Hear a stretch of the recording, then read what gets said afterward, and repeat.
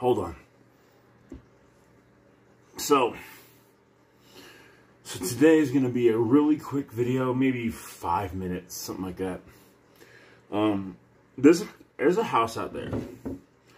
I got a little bit of flack for posting about these guys. Now, they clone, and I get this, the full bottle of this fragrance on Monday. Um, so, you can see the similarities. This is Mancera's Crazy for Oud. This is a four ounce bottle. This will cost you maybe around 80 bucks, 100 bucks, something like that. This is Instant Crush by Mancera. So you can see they they took the uh, Mancera, well, Mancera changed their labels, but they're cloning Red Tobacco. Now, I have had a decant of Red Tobacco. I haven't had the full fragrance. So I got this, got the full, you know, got the full fragrance also, and decided to test this out. Get him, get him. Hold on for a second. Now, what do I think about this fragrance? By the way, been doing pretty good at the gym. Getting a little bit of these gains back, guys. Anyway, this is not a gym. By the way, this is not a gym scent. uh, this is a clone of Mancera's Red Tobacco. What do I get from Red Tobacco? Now, I went through, I never had a full bottle of it, but I have had the 5 ml decant. What do I get from it? I get this. Right? When I go through that next bottle of red tobacco, I probably am not going to buy another full bottle. It took me a little bit to like the scent. Sorry. Gotta get me some protein in too. It took me a little bit to like the scent because I wasn't sure how I felt about it. Initially, I got I got cinnamon red hots. And what do I get off this? Cinnamon red hots. It's got some woody notes. There is an agar wood in here. Um, it's tobacco. I believe there's some saffron in here. I'll look up the notes real quick. But basically, you're going to get the same as um, you're going to get the same as, uh, get all. Hold on for a sec, guys. Calm down, buddy. Here. There you go. Um, there is some, some tobacco in here. It's strong.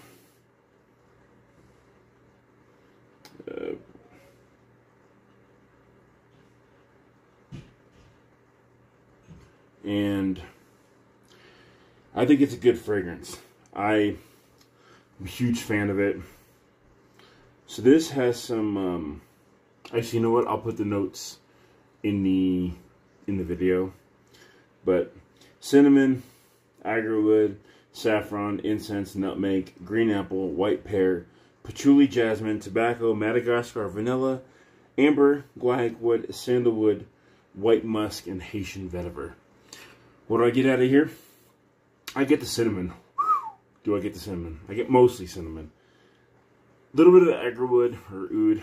I get some saffron, some incense. I don't really get the nutmeg. I do get the um, the green apple, which kind of has like this underlying like sour sweetness. I don't get any white pear.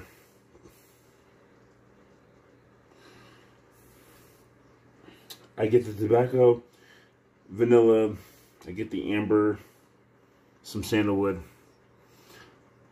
The same notes are in here that are in um, red tobacco. I'm going heavy on this one.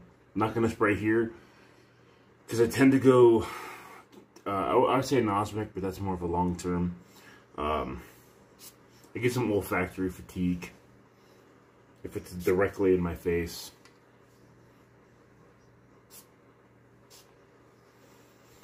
I'm going with six sprays to this one because this is not one that you need to overspray. Um, you can see, obviously, they're going to clone. Now, I, I, was talking to somebody, and they were like, the the quality of the the um, Paris Corner fragrances, the bottles are not as good. So I'm holding these two, right? Yeah, they're both pretty good, pretty thick glass. Both have that rounded edge. Obviously, same bottle, but this is a magnetic cap. This one, this one is not. Don't hold it by the bottle, but you never, or by the cap, but you never should hold your fragrances by the cap. What do I think about this though? I actually feel like this is a little bit more sturdy in my hand. As you can see, this is just some of my fragrances, not all of them. I have more on this side, but this is my current rotation. So I don't show this, I just show these for display because this has, you know, my my fougères, my my summer fragrances, everything that I'm not usually currently wearing is on this side. What I currently wear is on this side. I like it. I think this is really, really good. And when I get the bottle of red tobacco, obviously I'm going to compare them. I got told today, I wore this to work, that this was too strong. I only wore five fragrances. And a lady said that she she thinks it's not um she doesn't think it's something that should be worn at work. I disagree, but fragrances are subjective. Um, but this, this is Mancera's red tobacco. If you like red tobacco, you're gonna like this. Okay, same notes, smells the same. I get the exact same feeling. I even get a little bit of cherry tobacco from this, but there's no cherry note in here. So I don't know where I get that from, but I think a lot of times a, a certain note will stick out to me, and maybe the way that you know the pear and the apple are are melding together, maybe that causes me to get a cherry sweetness because because you know red the bottle and your senses or whatever, but I can get a little bit of a red a cherry tobacco here. I like this fragrance. People clown on me in the groups and sometimes even here for posting stuff like this because I used to post stuff stuff like chromatic and other you know invincible and stuff like that years ago. But I don't think Pandora can be put in the same class as those. Mirage uses questionable ingredients. That's a strong statement but I've had a lot of reactions to Mirage fragrances I don't really wear them much. But Pandora, like for instance, Pandora also created a pretty pretty good clone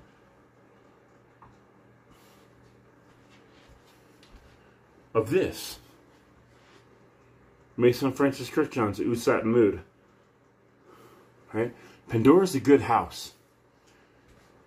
Pandora makes very, very good fragrances. They may not be the highest quality, but for what you pay, you're going to get a good, good fragrance. Now, do they, I mean, is this a little cheesy? Yeah, yeah, it's cheesy. Okay. This is an older Mancera. Is it cheesy to do this? Yeah, yeah, it is. I mean, honestly, if when I put the red tobacco bottle on next to it, and you see the color, you're not going to know the difference which bottle is which. So should should they stop doing that? Yeah, yeah, they should. But they do it to give you an idea of what it's supposed to be copying. Come up, Pandora, if you ever see this video, or Paris Corner, change your bottles. Don't make them look like a Mancera bottle. Don't make it like I shouldn't have to question. And I've seen Pandora bottles in collections on YouTube videos and in pictures, and I'm like, is that a Mancera? But no, like you know, they even in the, here have like the little spots that come down to maybe look like an M a little bit versus the Mancera you shouldn't do that. don't do that. Change the bottles. But for the juice, I'm not reviewing the bottle. For the juice that is inside this fragrance, I actually really like it. Which is interesting to me because it took me a while to like like there's a subscriber on here. His name is Will Torres, or 14 sprays minimum. Ask him. He's the one who sent me the red tobacco. I didn't like it at first. It took me all five of those milliliters to realize what red tobacco is. And when I realized what red tobacco was, I realized what a special fragrance it is, and I love it. And this gets pretty damn close. Later.